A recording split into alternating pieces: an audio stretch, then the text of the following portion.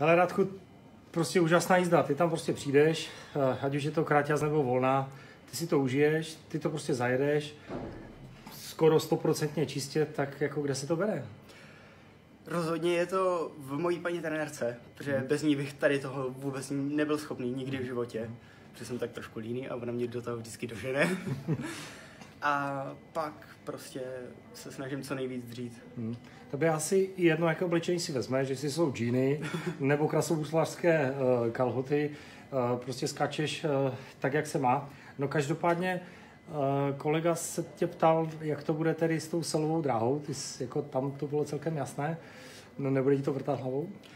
Rozhodně mi to vrtat hlavou bude, ale možná tohle to bude můj poslední závod a možná taky ne, to se uvidí ještě. Mhm.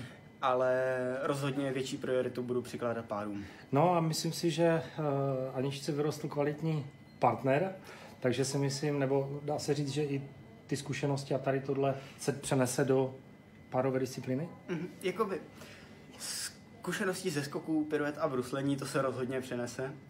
A zkušenosti do zvedaček a párových prvků, to vlastně Anička už většinu z toho uměla téměř perfektně, takže mě když tak opraví a myslím si, že to půjde hodně rychle.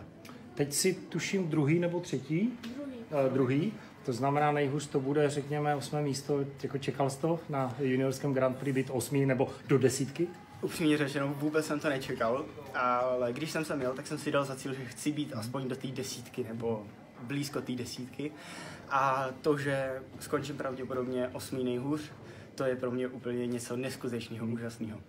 A vnímal si, předpokládám, fanklub, který jsi tam měl v podobě našeho kompletního českého týmu. Tak to si myslím, že ani nešlo nevnímat. Dobrá, no tak eh, hodně štěstí do párovek a těšíme se, až tě uvidíme za Aničkou. Tak jo, moc krát děkuju.